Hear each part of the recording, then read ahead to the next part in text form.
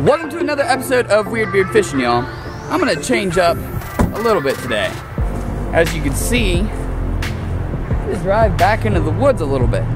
Granted, not that far off the road. Still had to get back in here yet. And as you guys can tell, this river is completely flooded out. So, instead, we're gonna come over here and try a pond.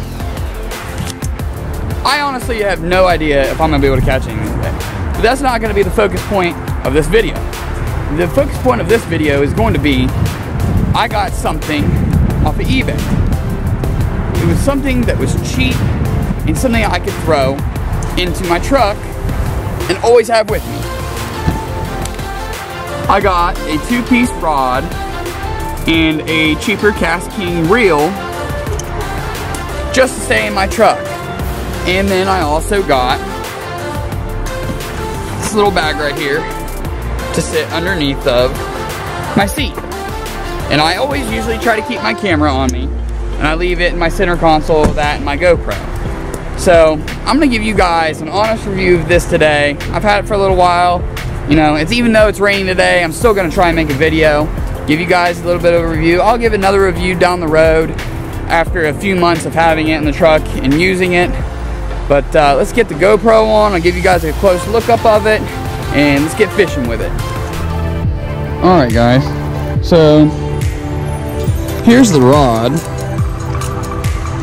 I have no idea how to pronounce that. It says Aka Aka Akataka Akataka Mega Wave Bass Cast. I mean, it was just some cheap eBay rod but it's something that I'm not going to care too much if it gets messed up sitting in my truck because I've broken uh, quite a few expensive rods lately. Ooh. And see, with it being a two-piece, I've already tested the sensitivity out with this with my wife a little bit, had her just barely touching the tip while I was holding it.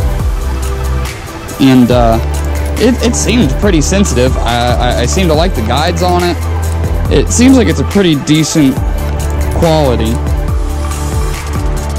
And uh, this KastKing reel is uh,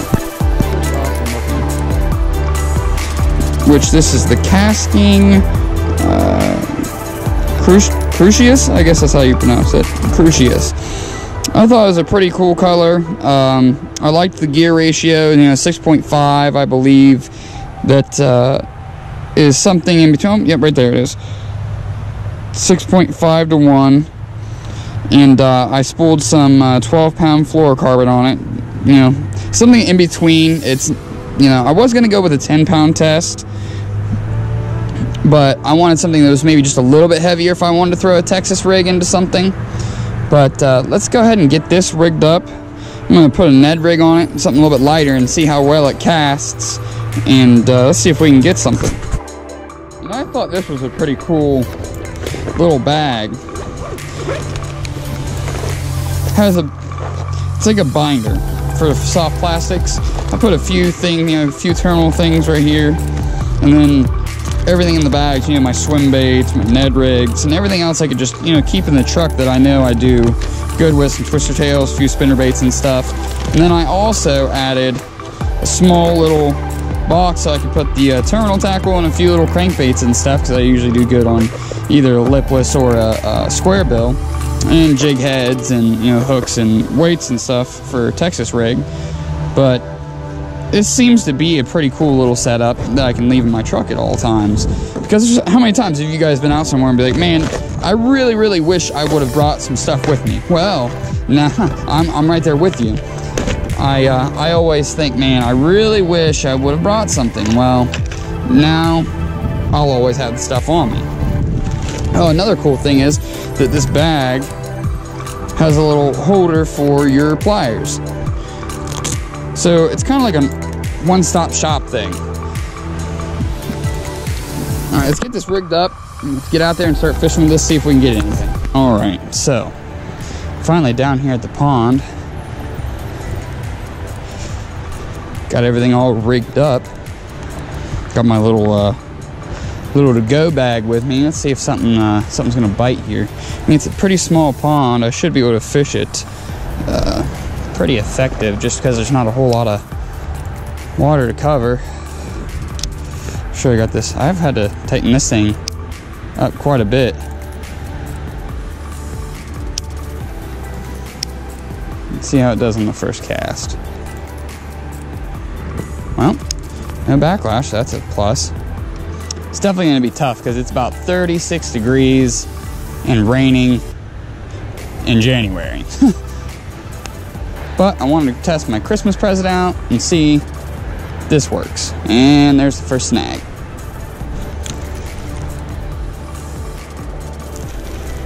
This is why I wanted that 12 pound test, just a little bit extra pulling power over the 10.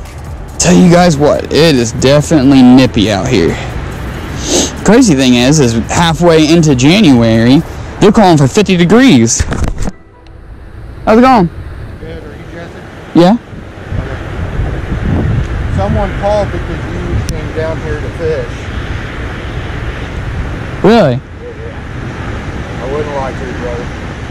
How, how do they it's me? I just ran the plate. Oh, I oh, saw you turn over and come down the embankment, oh, okay. so you're good, right? Yeah. Awesome. I'll see you. Have a good day. No, I just meant, oh, did somebody say, like, uh, oh, somebody was going over there to fish, or did somebody say it was me? No, they just saw you pull in, saw your vehicle pull in. Oh, okay. They were, okay, they were worried, like, I was sliding off the road or something. Yeah. Okay. Okay. I thought somebody knew me. Like, I haven't lived here in, like, three years. I dropped my wife off to visit the in-laws and come over and fish. All right, push it. Thank you. Well, somebody called the cops on me. I mean, whoever it was, thank you. I appreciate it. I wasn't sliding off the road. I was going over the embankment and come over here. This little creek has has come way up because, like I said, the river's flooded down right down there. So a lot of this water backed up this little part of this creek. Usually this isn't a whole lot of anything, but my guess is some of the fish should push up in here, trying to get away from all that flooding. Granted, this water is extremely cold, so it's probably going to be a very, very tough bite. To be honest, I don't think I've done a whole lot of much of fishing here in Ohio in uh, January. I don't even know where these fish would be. I mean, I know deep, but when you have a creek like this, they really can't go deep. But I've got a few hours to try and figure these fish out.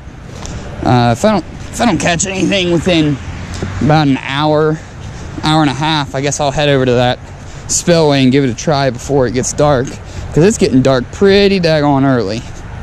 Let's play. Ooh, this spot definitely looks promising. Just kind of wish I had a better place to stand, except for all the way up here.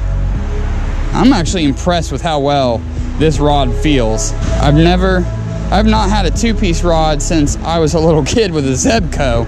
I definitely feel like I just got hung up. Oh, see? Um, like I'm telling you, I can definitely feel with this rod. I can feel myself going over rocks and everything. Yeah, sorry about all the highway noise. Definitely really close to the highway. Comment down below. Who else is out here in the middle of January in the rain still fishing? It's either insanity or dedication and might be a little mix of both, but pretty much don't let anything stop me from fishing. Seen a lot of people posting some big fish this winter already. Some new PBs and whatnot all over Instagram. Which if you're not following me on Instagram, go and do that now. At Weird Beard Fishing. Post up there daily, adding my story all the time. You guys don't even get to see probably half the times that I'm fishing because I forget a video camera. I forget to bring my GoPro, bring my regular camera for intros and stuff. So I just post on Instagram and sometimes I'll put little uh, little stories and stuff, especially uh, fishing in the Hocking and some of the places that are closer to my house. Well, so far this is doing pretty good. Haven't had any backlashes. um, you know, knock on some wood. Haven't had any backlash. Sensitivity's pretty good, especially out of a Chinese rod. And I got this pretty daggone quick. Man, I usually stand out on this, even the water's up in the pond. I usually stand on that tree right there.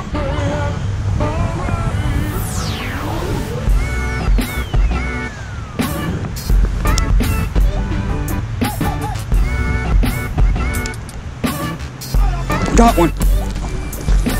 Yeah. Ah. That's awesome. I did get a fish. I did not get skunked in the middle of January in the rain. Thank you, Ned Rig. That is what I'm talking about.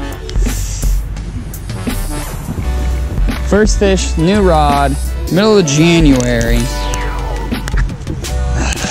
Deadly Nedley. Tiny little, like 11 inch bass, but you know what? I will take it. First fish of the year. January, raining. Let's go. On the Deadly Nedley. Thanks, little dude. Man, that bite was so soft, and I was still able to feel it with this two-piece rod, slowly dragging and soaking this little Ned rig. Came off a branch, let it down, let it sit there for a second, and felt a tick. And I'm telling you, I know there's some big fish in this pond. They gotta be around here somewhere. Tell you what, so far, I'm definitely pretty impressed with the rod. The reel, I'm gonna give more time, but it is definitely handling this uh, this small weight. Now, th this is not my first time ordering a KastKing reel. Um, I did order a Speed Demon when it first came out about three or four years ago. Actually, it might have been longer now, maybe like five years ago. But I ordered it and I got it. I put line on it, went to cast, and it made some god awful, horrible noises. Now, granted, I've heard that KastKing has definitely got a lot better over the years. Uh, their bearings have got better, their longevity of the reels have got better, um, and I personally think the reels look a lot better now too, because the Speed Demon is definitely not a good looking reel. But I wanted something that had that high gear ratio to try out. And uh, like I said, it was not a good, uh, good experience, so I just returned it. I mean, I got a refund, so I can't say anything. They did refund me my money. But I would say this second experience, this this KastKing reel is uh, is 100%, 100% different. This feels just like any of my other reels that I have. Uh, you know, comparing it to my Abu Pro Max or any of my Lew's, it, it does uh, pretty good so far. Reel's real smooth. I haven't backlashed it a whole lot. I've only backlashed that one time, and that was my own fault. I hit it on the on the water, and I don't care what reel that you have. Whenever you're going for a hard cast and real low, and you smack that water, that it's gonna backlash. You're gonna get a bird's nest. And uh, this being a cheap rod, I can definitely feel. I can definitely feel a lot. Be a test over time. Like I said, this is my initial review. I just got the the rod and the reel over Christmas, first time fishing with it. And I'm gonna give you an honest review. I'm not sponsored by anybody by any means on channel. I've had a few people approach me and uh, ask if I wanted to be a pro staff or, you know, sponsored. But um, I'm not gonna promote stuff that I have not used and I don't know if it's any good or not. I'm not gonna just have somebody say, hey, uh, I'm gonna pay you to promote my stuff and I will give you the free things. Uh, that's not me. I'm not gonna tell you guys to go buy something that I personally would not buy. That's fish. Oh, it came off. About took my uh, took my Ned rig off again. Man, they are chomping this thing. I mean, if you guys can see that, this thing is all tore up. I don't know if it's crappie or a small bass, but there's definitely something nibbling on that. And they're biting it pretty hard. That did not feel like the bass bite. The bass bite was barely a tick. So any review that I give you guys is 100% my honest review, not sponsored. Stuff that I, I buy for myself. And you know what? If I'm not impressed with something that I buy, I'm gonna tell you. I don't care if I get negative feedback from a company, this or that or whatever. I'm gonna give you my honest opinion. And for this being a budget truck setup, you know, I'll leave the links down below of where I got the rod and the reel. I believe I got both of them on Amazon, and I think the rod was maybe 50 bucks and the reel was maybe 50 bucks. So I've got a $100 combo that I can leave in my truck all the time.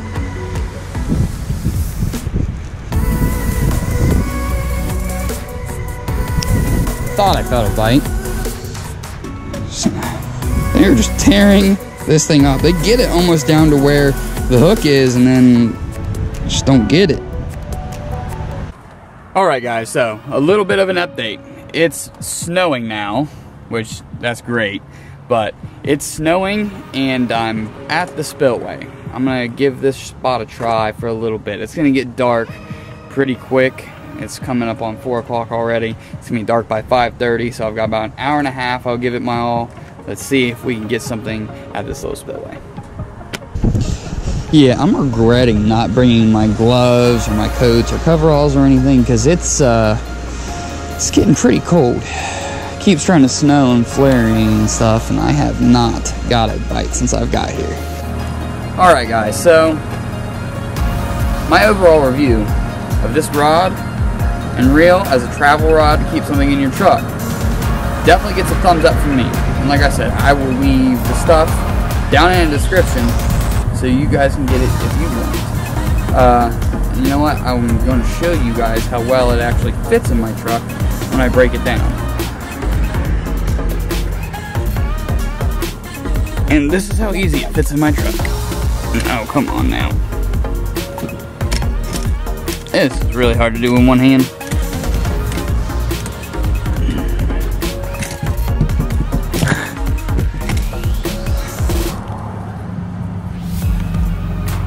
Fits right behind the headrest. I don't gotta put it underneath the seat. I don't gotta take the seat and you know lay it down. Fits there just like a gun rack. Perfect, yes. All right, guys. Well, that's all for today. I got the one fish, but I did get to go out and try my new rod and reel combo. Seems like it's gonna be a pretty dang good setup, especially for a two-piece rod that I can leave in the truck and I can go fishing with it any time. So now, hopefully, I can film more for you guys. I can fit the camera stuff and just leave it in the center console. And now if I just have that in the back, I can have my work stuff in the back where people can get in the back. Instead of having to have my fishing rods sitting in the passenger seat, all my fishing stuff sitting in the back seat, then people can't get in. I can't use it for work purposes or for anything else. So, and like I said, I will leave everything that I bought down in the description so you guys can see how much it is, where I got it, and get it yourself if you would like. Appreciate everybody who takes the time out of their day to watch this video. And if you like it, please leave a thumbs up and subscribe and leave that notification bell on so you know when I'm posting up new videos. Catch you guys next time on the next episode of Weird Beard Fishing.